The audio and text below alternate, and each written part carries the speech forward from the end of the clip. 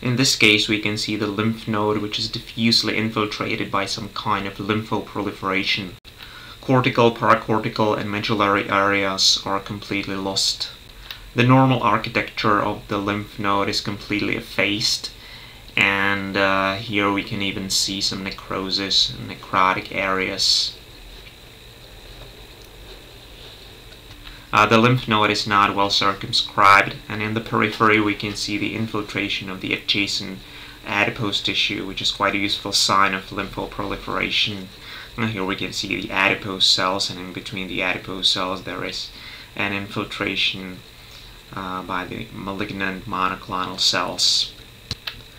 On a low magnification we can see that the infiltration is really diffuse. We do not see any nodular areas or vaguely nodular architecture. We do not see uh, preserved germinal centers or preserved architecture in some smaller areas as we sometimes see in some kind or some types of uh, lymphoproliferations. So let's go closer to see what types of cells do we have here.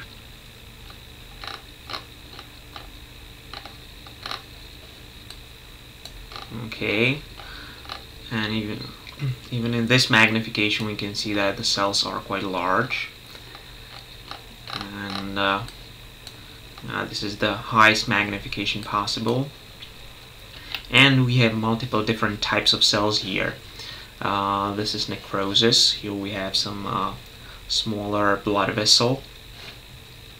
Uh, this is mitotic figure and uh, here we have uh, a small amount of uh, dispersed reactive normal lymphocytes. Those are uh, these cells with round, small nuclei uh, without visible cytoplasm. So uh, those cells are benign reactive lymphocytes, B cells or T cells, and they are not atypical they are quite useful because we can compare the, uh, the di uh, diameter of the normal lymphocyte uh, with the diameter of these um, malignant large cells. And we can see that these cells are much larger than um, than the normal lymphocytes. So two or three times larger.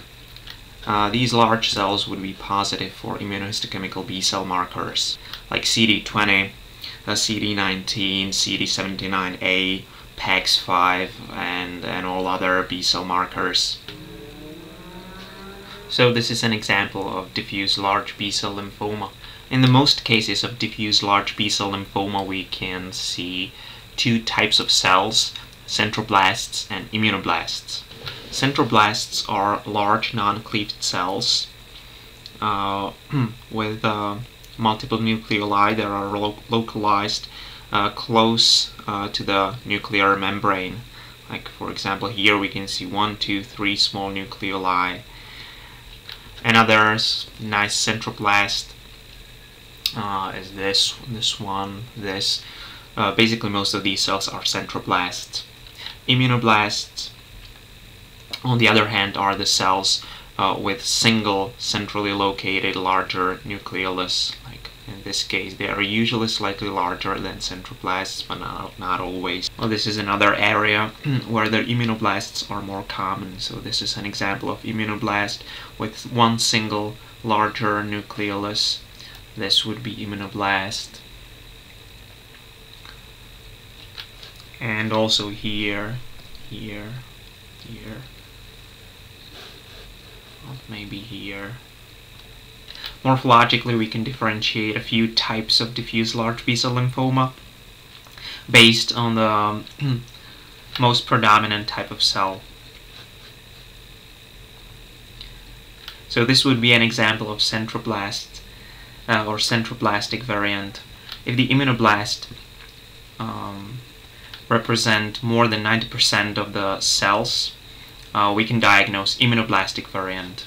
Immunoblastic variant um, is reported to have worse prognosis than centroblastic variant. Sometimes, in some cases, we can see uh, bizarre cells, really atypical cells, Reed-Sternberg-like cells, and those are characteristic for anaplastic variant of diffuse large B-cell lymphoma, which is the less common subtype. Uh, these eosinophilic uh, strands, those are collagen fibers, and the fibrosis is more predominant in extranodal uh, diffuse large B-cell lymphomas. Some cases of DLBCL are composed of uh, medium-sized cells, but they should be always larger than the nucleus of histiocyte by definition. DLBCL is the most common type of non-Hodgkin lymphoma worldwide and it predominant, predominantly affects older adults. Uh, however, the subset of cases can be seen in children and uh, young adults. It is slightly more common in, uh, in males. It is aggressive type of lymphoma and it requires chemotherapy. Based on the, on the gene expression profiling, we can differentiate the two major groups of DLBCL. The first one is the germinal central B cell lymphoma, where the gene expression profile is similar uh, to the germinal central B cells in the normal lymph node. And the second subtype is activated B cell uh, type or group where the gene expression profile is similar to activated or post-germinal central B cells uh, or activated B cells or post-germinal central B cells. The germinal central B cell type has slightly better prognosis. In the normal practice, we uh, use immunohistochemical markers to differentiate between these two groups. Well, that is not 100% correct but um, it is quite quite useful and it works in majority of cases. So we use Hans algorithm uh, where the three immunohistochemical markers are used CD10 uh, which is commonly positive in the germinal central B cells, BCL6 which is also positive in germinal central B cells and uh, MUM1 which is positive in the post-germinal central B cells. According to WHO update in 2016, we should always check for, uh, we should also check for double expressors and uh, positivity of BCL2 and MYC um, is associated with uh, worse prognosis.